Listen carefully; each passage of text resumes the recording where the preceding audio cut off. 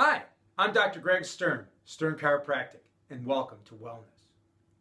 We continue our stress management series with stress management tools to help you address the mental emotional stressors. In our past videos, we've primarily addressed the chemical and physical stressors. We've discussed how chiropractic care can clear your nerve system to help your body function optimally and reduce your stress. We've talked about healthy eating, proper supplementation, deep breathing, eating and shopping healthy, proper posture. All of things, these things are vital and, in my mind, are the easiest tools to reduce your stress. When that's not enough, or you're not really doing as much of those things as you could be, other tools may be needed to help address the mental emotional stressors. And that's what we're going to talk about today. Some of the biggest sources of mental emotional stress for people outside of relationships is uncertainty. So, what can we do about that? Well, there's a couple of things. One is goal setting. Have an idea where you're going, and the journey there will be much easier and more stress free. Set goals, both short and long term. And then when it comes time to make different decisions, it'll be much easier and much more clear cut for you and substantially less stressful. How about when you feel in a rush? That's a pretty stressful time. One of the tips is be organized.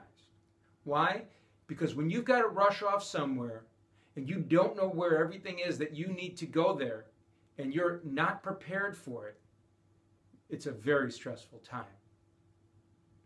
Being prepared and being organized will dramatically reduce your stress, make your life a lot easier, and will improve your performance in work and or school. When you're in a stressful situation, what can you do? Well, how about taking a step back? Taking a moment not to react, but to give yourself a moment to process what's going on so you can respond effectively. And reframe what's going on so that you can respond effectively. What does that mean? Well, look at it like, hey, they just spilled a coffee on me. I could get all angry. Or I could look at it and say, how's this going to affect me in a day, a week, a month, a year? Is it really that big of a deal? Look for the silver lining.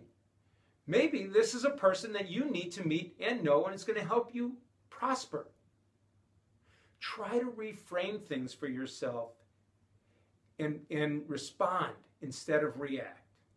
Again, take a step back, removing yourself from the situation to allow yourself to process, and reframe it so that you have a different outlook on what just happened, and you again can respond in an effective manner that's productive for you and dramatically less stressful. One of the more difficult techniques is changing your paradigm, your view of the world, how you see things. Why? Because I could go to a movie with someone, and for me, this movie could be the scariest thing in the world. I could be having a terrible time. My friend, on the other hand, my friend could be enjoying this movie, could come out saying, This is the best movie I ever saw. Really excited. We're just looking at it from different perspectives. So, guess what? The same thing works in your life. If you change the way you view things, you may not find them stressful anymore. You may even find them wonderful. Because you know what? Stress can be good for you. Stress is what helps us grow. Stress is what helps us prosper because it pushes us to develop further and better. So, changing your paradigms and how you view things is a very, very effective tool at managing stress. It's just something that takes a long time and a lot of work. When you're stressed, have a place that you can go to relax and de stress. Create your own environment. We'll talk more about this in one of our latter videos on meditation. But in that environment, I like to incorporate proper lighting, proper music or sounds for the mood, and maybe even aromas. Maybe you diffuse uh, essential oils or burn incense. But things that help you relax and help you do it immediately without any effort. Visualization. Again, going back to uncertainty, and especially for athletes, You're worried about how you're going to perform in your athletics. Or maybe you're worried about how you're going to perform in a meeting at work or on a test at school. Taking time in advance to visualize how you're going to perform. Visualize yourself doing incredible, performing at your best will dramatically reduce the stress when it comes time for that performance. Deep breathing.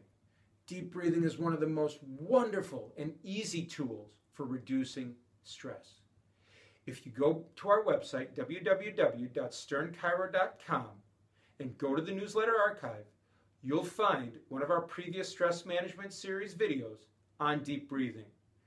Watch the video.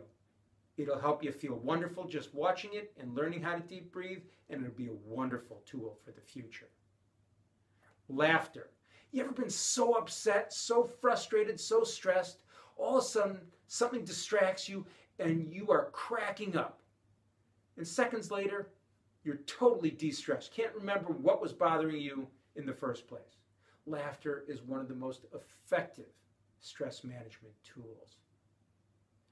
And lastly, meditation.